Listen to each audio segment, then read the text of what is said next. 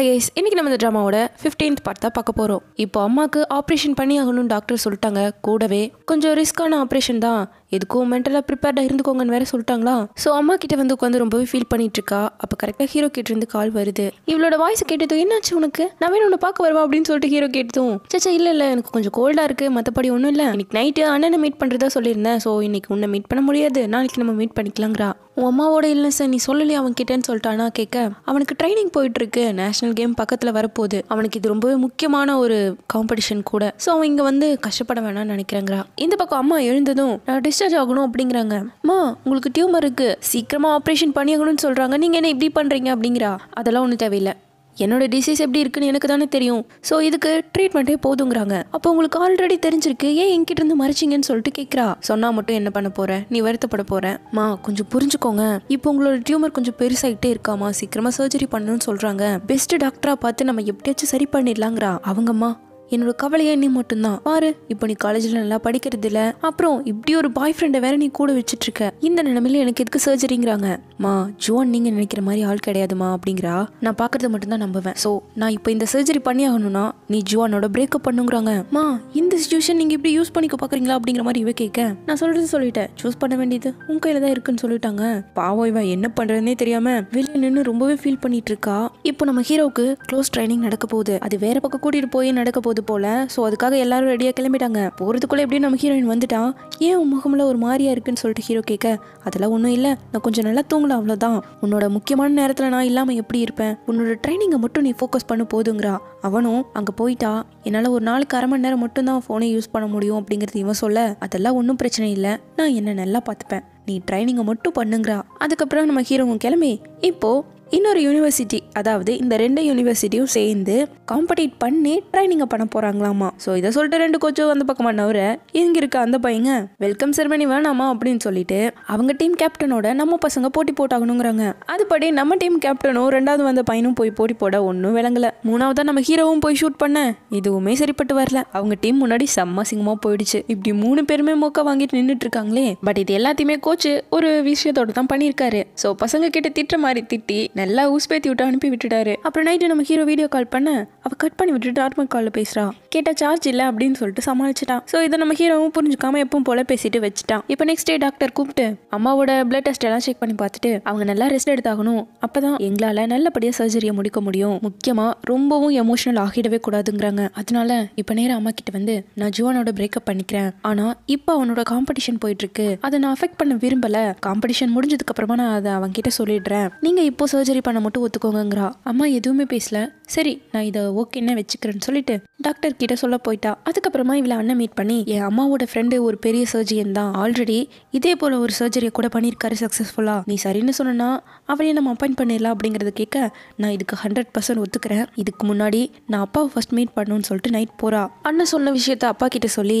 அம்மாக்கு இது உயிர் போற நிலைமை நீங்க தான் ஹெல்ப் பண்ணணும்னு சொல்லிட்டு கேட்குறா. அப்பா இதுக்கு பெருசா ரியாக்ட் பண்ணல. அப்புறமா அண்ணனோட அம்மா வந்ததோ ரொம்பவே தயங்கி தயங்கி இந்த விஷயத்த கேட்குறாரு. பட் அவங்க ரொம்ப ரொம்ப நல்லவங்களா இருக்காங்க. உடனே நான் அவருக்கு கால் பண்ணி விஷயத்த கேட்கறேன்னு சொல்லிட்டு போயிட்டாங்க. நெக்ஸ்ட் டே நம்ம ஹீரோயினுக்கு அப்பா கால் பண்ணி அம்மாவோட ரிப்போர்ட் எல்லாம் எனக்கு சென்ட் பண்ண டாக்டருக்கு சென்ட் பண்றேன்னு சொன்னது இவளுக்கு அவ்வளோ ஒரு சந்தோஷம். ரொம்பவே தேங்க்யூப்பாங்கிறா தென் அண்ணன்கிட்ட இந்த விஷயத்த சொல்ல. ஹாப்பி இப்போ இந்த பக்கம் ட்ரைனிங் போயிட்டு இருக்க இல்லையா ஹீரோவுக்கு அதை காட்டுறாங்க. மொத்த பேரில் அவங்க எப்படி டெய்லியும் பெர்ஃபார்ம் பண்ணுறாங்களோ அதுபடி அவங்கள ரேங்க் படி பிரித்து விட்டு டாப் ஃபைவ் ஸ்டூடெண்ட்க்கு மார்னிங்கில் ட்ரைனிங்கும் பேலன்ஸ் இருக்க அஞ்சு பேருக்கு ஆஃப்டர்நூன் ட்ரைனிங்கும் பண்ணுவோம் அப்படிங்கிறதெல்லாம் சொல்லிட்டு இருக்கேன் அதில் கடைசியில் தான் நம்ம ஹீரோவோட பேர் இருக்கு. ஸோ இதுபடி டெய்லியும் ட்ரைனிங்ஸ் போக போக நம்ம ஹீரோவும் படிப்படியாக முன்னேறான். இப்போ எயித் பொசிஷனுக்கு வந்துட்டான். அப்படியே ட்ரைனிங் பண்ண பண்ண இடையில இடையில நம்ம ஹீரோனுக்கு கால் பண்ணியும் பேசுகிறான் ரொம்பவே ஹார்ட் ஒர்க் பண்ணுறாங்க மெயினா ஹீரோவும் கேப்டனும் தான் ரொம்பவே பண்றாங்க. இப்படியே சிக்ஸ்த் பிளேஸ்க்கு வந்துட்டான். இப்போ நம்ம ஹீரோ மாத்தி மாத்தி காலும் டெக்ஸ்ட் பண்ணிக்கிட்டே இருக்கேன் அம்மா வேற முன்னாடி உட்காந்துட்டு இருக்காங்க எப்படி சமாளிக்கிறதுன்னு தெரியல. இன்னும் மெடிசன் வரல நான் பார்த்துட்டு வந்துடுறேன் அப்படின்னு சொல்லிட்டு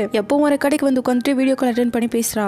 என்ன நீ இந்த டைம்ல கடையில உட்காந்துட்டு இருக்கே அப்படிங்கிறது ஹீரோ கேட்க ஒன்னில லைட்டா பசிச்சது அதான் வந்தேங்கிறா. அப்புறம் எப்பவும் போல பேசிட்டு கட் பண்ணிட்டான். ஆனா டெக்ஸ்ட்ல ஆனா டெக்ஸ்ட்ல முன்னாடி என்ன பண்ணிருப்பான்னா லைப்ரரியில இருந்ததால தான் என்னால அட்டன் பண்ண முடியல அப்படிங்கறத சொல்லியிருப்பா. அங்க இருந்துட்டு இவ்வளவு சீக்கிரமா இங்க வந்துட்டாளா அப்படிங்கிற மாதிரி எல்லாம் இவன் யோசிக்க டக்குன்னு அண்ணனுக்கு கால் பண்ணி அவ ஏதாச்சும் என்கிட்ட மறைக்கிறாளா? அப்படிங்கறதான் கேக்குறான் அண்ணன் உண்மையை போட்டு உடச்சிட்டாரு. அவங்க அம்மாவுக்கு உடம்பு சரியில்லை. அதனால அவ இப்போ ஹாஸ்பிட்டல்ல தான் இருக்கா. ஸோ உடனே கோச் கிட்ட வந்து லீவ் தான் கேட்பான் போல. அவரு முடியாதுன்ட்டாரு. இப்பதான் நீ கொஞ்சம் கொஞ்சமா இம்ப்ரூவ் ஆயிட்டு இருக்க டாப் ஃபைவ்ல போக போகிற இந்த டைம்ல நீ இப்படி போகணுங்கிறது தப்புப்பா? அப்படிங்கிறாரு. பட் ஹீரோவும் விடுற மாதிரி தெரியல. போய் ஆகணுங்கிற ஒத்த காலில் நிற்க போய்க்கோ. ஒரு நாள் லீவ் எடுத்துக்கோ. ஆனால் திரும்ப வரும்போது நீ டாப் ஃபைவ்ல இருக்கணும். அப்படி இல்லைன்னா இந்த ஷூட்டிங் டீமை விட்டே போயிடணுங்கிறாரு. இதுக்கும் ஓகே சொல்லிட்டு நம்ம ஹீரோ ஓடிட்டான். இந்த பக்கம் அம்மா அப்பா அனுப்பின மெசேஜை பார்த்து அப்போ அப்பாவோட ஹெல்ப்பில் தான் எனக்கு சர்ஜரி பண்ண போறீங்களா அப்படின்னு சொல்லிட்டு செம்ம கோமா கேட்குறாங்க அவருக்கு எக்ஸ்பர்ட் தெரியும். அதனால தான் நான் அவர்கிட்ட ஹெல்ப் கேட்டேன். இதில் என்ன இருக்குன்னு இவ கேட்க அதெல்லாம் முடியாது. என்னால் சர்ஜரி பண்ண முடியாதுங்கிறாங்க. ஏமா நீங்கள் இந்த விஷயத்துக்கெல்லாம் இவ்வளோ இது பண்ணுறீங்க உங்களோட ஹெல்த் நல்லா இருக்கணும் தான் நான் அவர்கிட்ட போய் கேட்டேன். அப்படின்னு இவன் எமோஷனலாக கேட்டதும் அவங்க கத்த ஆரம்பிச்சிட்டாங்க. இன்னும் எவ்வளோதான் நீ என்கிட்ட இருந்து மறைச்சிட்டு இருக்க? அப்போ ஜுவானை பிரேக்கப் பண்ண போறேங்கிறது சொன்னது கூட போய் தானே? அப்படின்னு சொல்லிட்டு இவங்க கத்த. அவ்வளோதான் திரும்பவும் அவங்களுக்கு வலிக்க ஆரம்பிச்சிருச்சு. கிட்டையே வராமையும் அவளை தோர்த்தி விட்டுட்டாங்க. இப்போ என்ன பண்ணுறதுன்னு தெரியாம நம்ம ஹீரோயின் நின்றுட்டு இருக்க?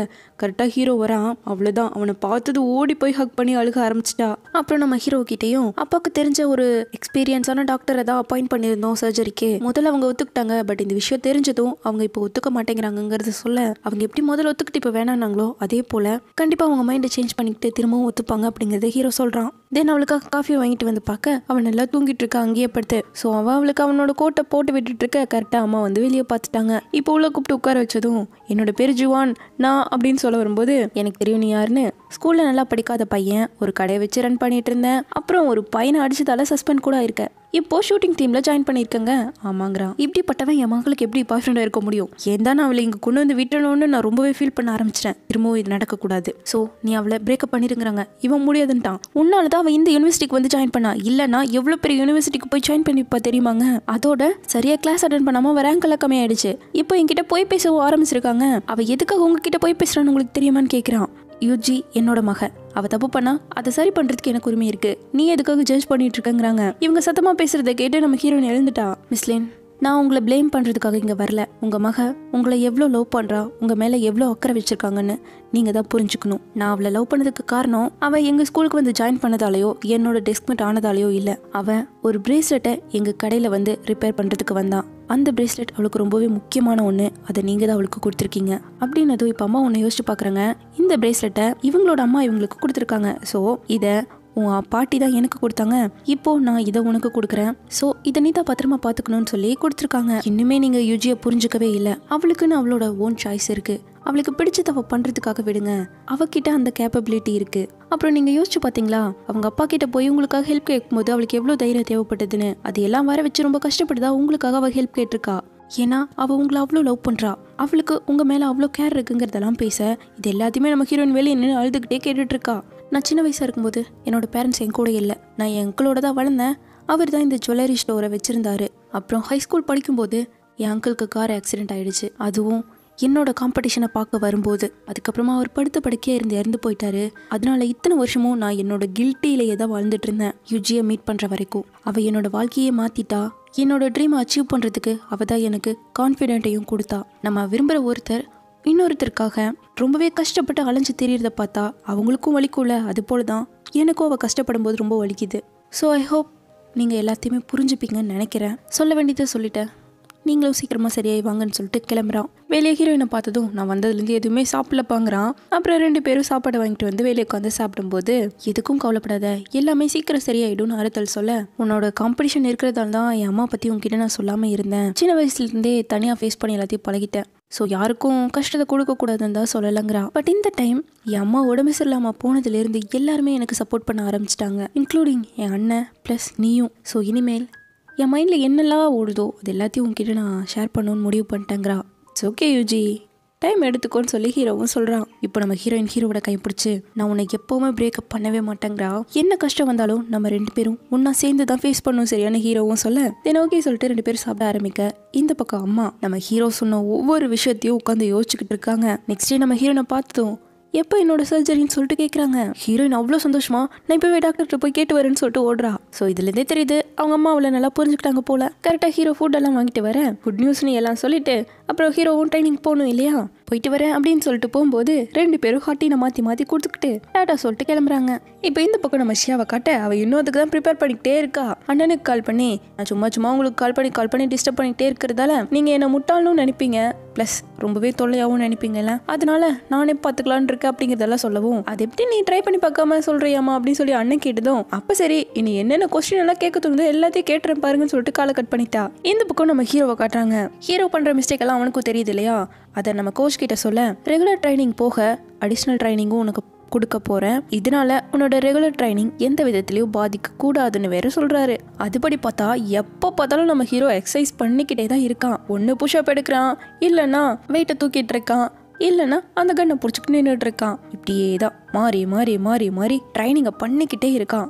இடையில இடையில ஷூட்டிங் ப்ராக்டிஸும் எடுக்க அவன் பண்ணுற மிஸ்டேக் எல்லாம் தெரியும் இல்லையா? அதுக்காக அதிகமாக அதிகமாக ப்ராக்டிஸ் பண்ண பண்ண மூணு பாயிண்ட் எடுத்துட்டு இருந்த ஆள் நாலு பாயிண்ட் எடுத்தாச்சு. இப்படியே ஹீரோ டாப் ஃபைவ்க்குள்ளேயும் பூந்தாச்சு. இந்த பக்கம் ஷியா அவளோட கொஸ்டினை எல்லாத்தையும் அண்ணனுக்கு அனுப்பி விட்டுருக்க பாருங்கன்னு சொல்லிட்டு கால் பண்ணி சொல்ல எடுத்து பார்த்தா மூணு பக்கத்துக்கு அனுப்பி வச்சிருக்கா. இதை பார்த்தா எங்க இதுல டிஸ்கஸ் பண்ற மாதிரி இருக்கு? நேரில் தான் பேசணும்னு சொல்லிட்டு இப்போ அண்ணனும் மீட் பண்ணி அப்படியே ஒவ்வொன்றா வந்துட்டு அவளோட கொஸ்டினுக்கெல்லாம் சொல்லிட்டு இருக்க இவ அண்ணனை பார்த்து சிரிச்சுட்டே இருக்கா. எதுக்கு சிரிக்கிறேன்னு சொல்லிட்டு கேட்க நீங்களே சொல்லுங்க பார்க்கலாங்கிறா. என்ன?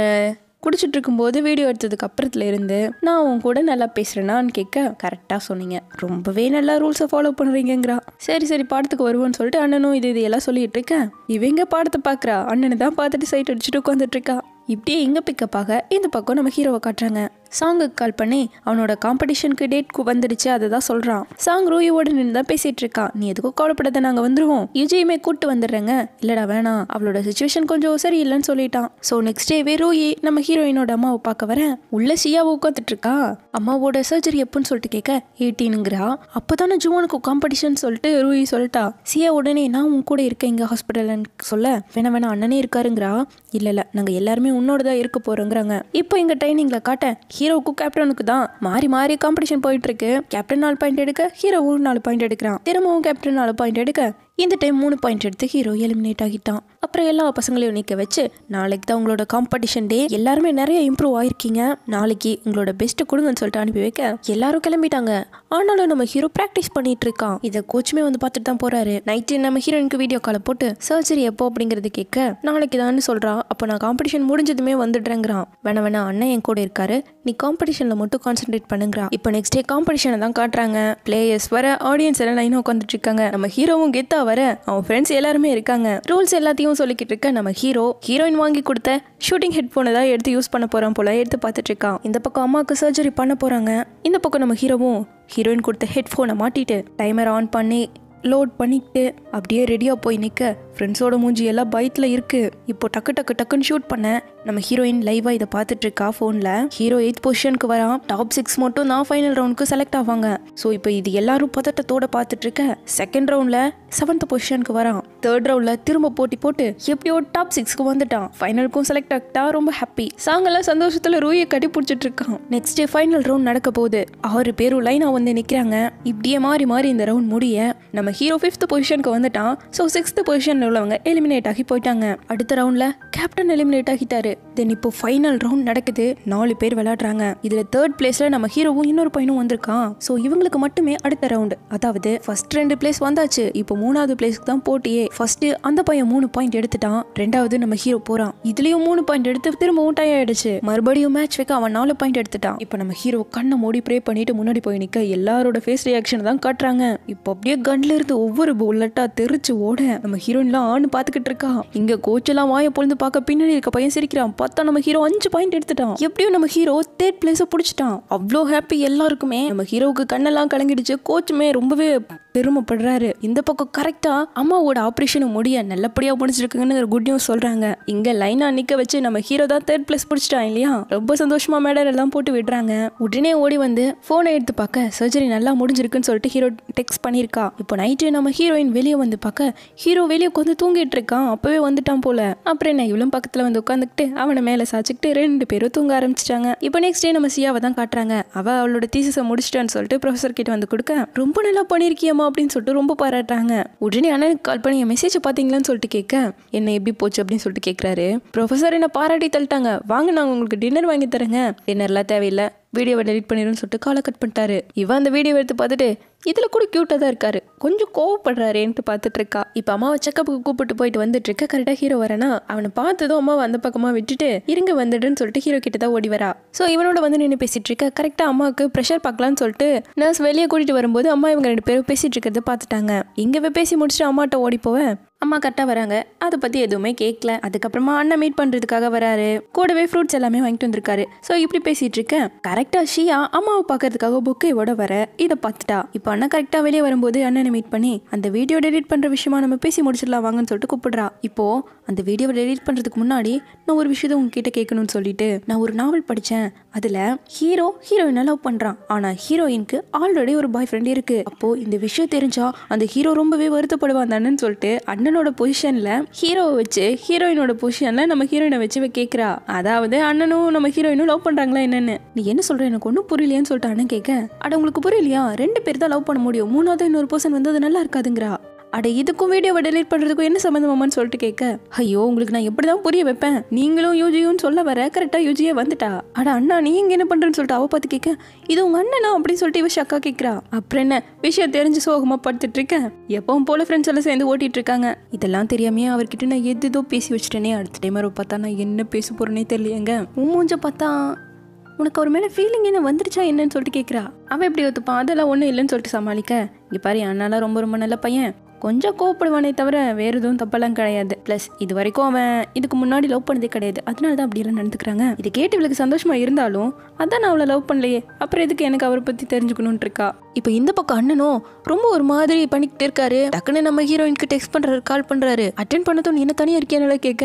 உனக்கு பேசுறதுக்கே டைம் இருக்காது. என்ன டெக்ஸ்ட் பண்ற கால் பண்றேன்னு சொல்லிட்டு கேட்கறா என்னடா விஷயம்னு பார்த்தா நம்ம அண்ணனோட வீடியோ அவகிட்ட இருந்ததுல ஒருவேளை எல்லாருக்கிட்டையும் காட்டிட்டாலே என்னங்கிற ஒரு பயத்துல கேட்டிருக்காரு. ஸோ இதை இப்போ டைரக்டா கேட்காம உன் ஃப்ரெண்டே என்கிட்ட இன்டர்னா இருந்துச்சுல?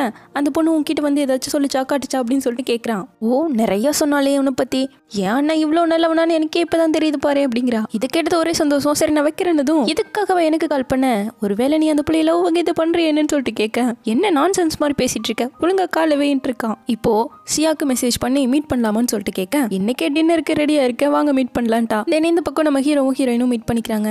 இந்த பக்கம் ஷியா அழகா பார்த்து பார்த்து ட்ரெஸ் எல்லாம் மாட்டிட்டு நேரா அண்ணனை மீட் பண்ண. ஒரு கிளைண்ட் வந்துட்டாங்க. ஸோ இன்னைக்கு டின்னர் உங்க கூட சாப்பிட முடியாதுன்னு நினைக்கிறேன்னு சொன்னதும் அதனால என்ன? ஒன்றும் பரவாயில்ல. இந்தாங்க நீங்க கொடுத்த உங்களோட புக்கு தென் இந்த வீடியோவை இப்பவே டெலிட் பண்ற பாருங்கன்னு சொல்லி காட்டிட்டு அப்புறம் என்ன? சரி நான் போயிட்டு வரேன் அப்படி சொல்லிட்டு கிளம்பிட்டா. இப்போ டக்குன்னு உள்ள வந்தவர் வெளியே பார்த்து ஒரு மாதிரி பதட்டப்படுறாரு. கரெக்டாக கிளைண்ட் வந்துட்டாங்க வாங்க போலாம் மீட்டிங்க்குன்னு சொல்லிட்டு கூப்பிட இந்த பக்கம் பார்த்தா நல்ல மழை பெய்யுது. இதை பார்த்து ஷாக் ஆயிருப்பார் போல. நம்ம ஷியா கூடயும் எடுத்துட்டு வரல இல்லையா?